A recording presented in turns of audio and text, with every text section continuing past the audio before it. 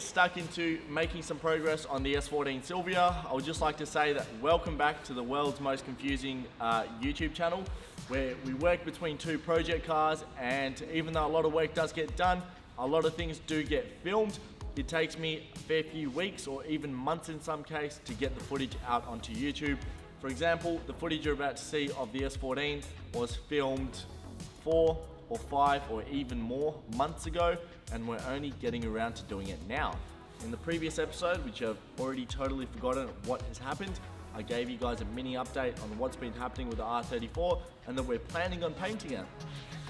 The car has been repainted, but it's gonna take a little while to actually get the footage out. If you wanna see the behind the scenes and live updates, um, check out the Instagram page at Broken Silvia. But for now, all right, let's try carry this thing. Um, but for now, this episode is about the S14, also known as the Broken Silvia, and believe it or not, it is not broken anymore.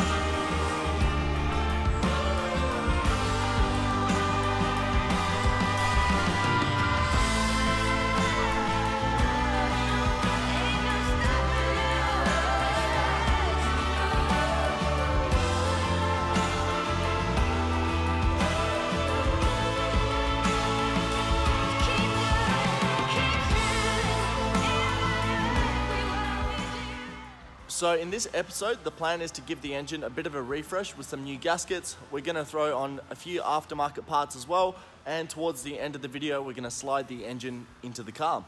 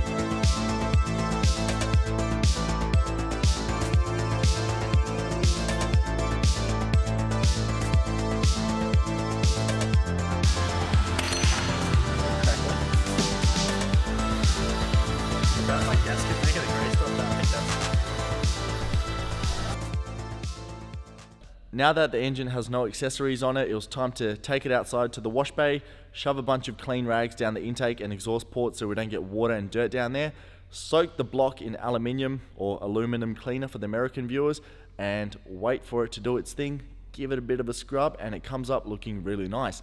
And that's what I really like about SR20s is you don't need to paint the engine blocks, just use a bunch of aluminium cleaner and they come up looking nice and factory. Three, two, one, go.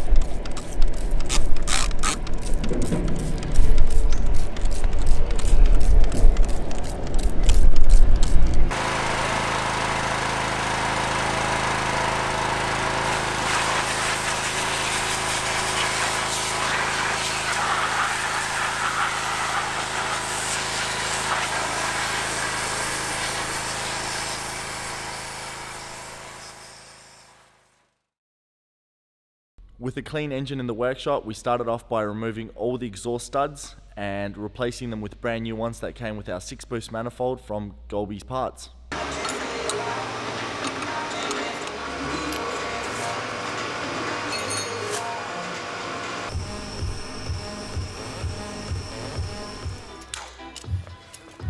Is it still filming? Yeah.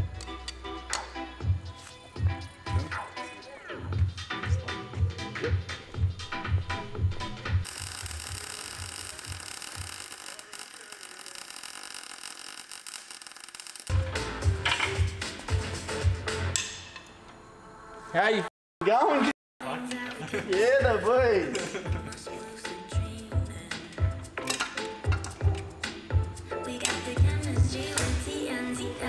Hey, hey. Snaps it halfway.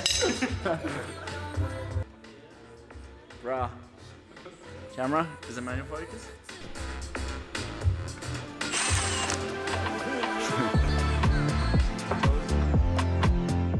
With the studs removed, the next job was to take off the factory oil pan or oil sump and replace it with an aftermarket one.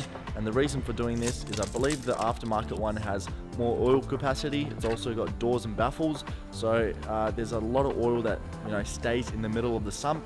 So the engine always has oil to pick up from instead of it starving from oil under hard cornering and it going bang, which SRs like to do anyways.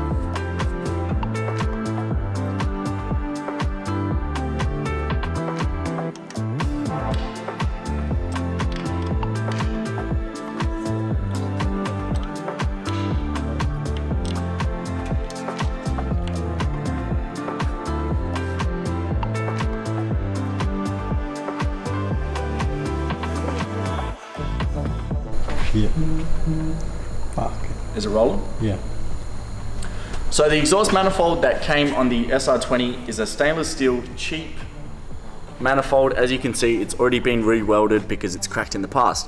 Now, because we're on a budget, I can go back and reuse this manifold and risk it cracking while it's in the car. Now, the biggest downside of that is replacing an exhaust manifold while the engine is in the car is an absolute mission, and I'm probably gonna scratch up my pretty engine bay. Then the second option you have if you really want to keep things cheap is you can run a standard exhaust manifold, just one of those. Cast iron, you'll pick them up for 50 bucks, 100 bucks, you might even get one for free.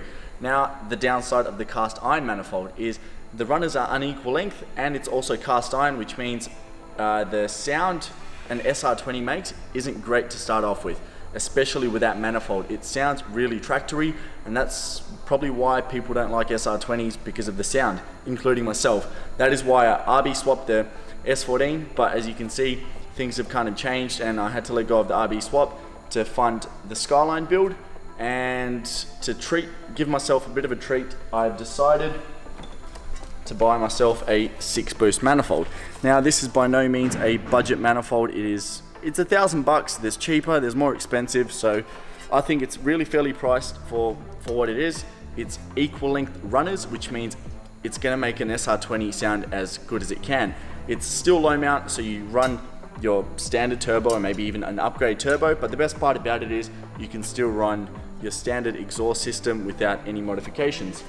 It's strong, it's not gonna crack, it comes with new hardware, and for the sake of reliability and also sound, I've decided to bite the bullet and just get myself a six boost manifold.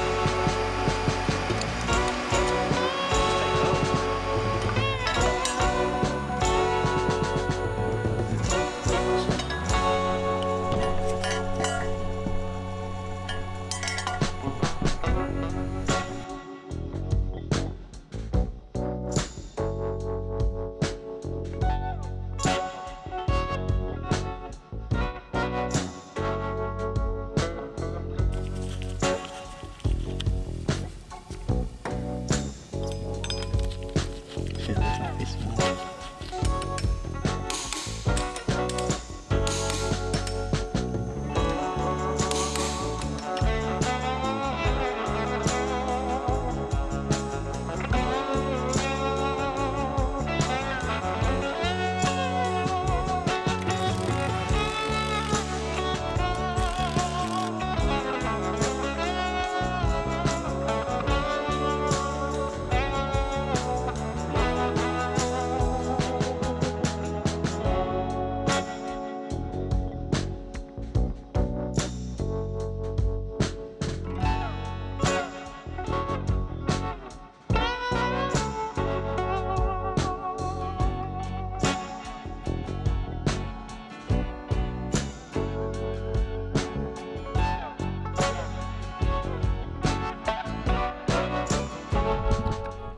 And yet again, we are approaching the end of another episode, and we're slowly starting to catch up on all the footage I've collected in the past few months.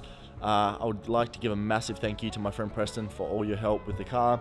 Uh, this was sort of the easy part that we got to, but he's a perfectionist. He did everything 110% better than what I would have done it, and there's more work to be done. So, in the next episode, I think we're going to do some fabrication work or show you guys the fabrication work. You know, I can't weld to save my own life.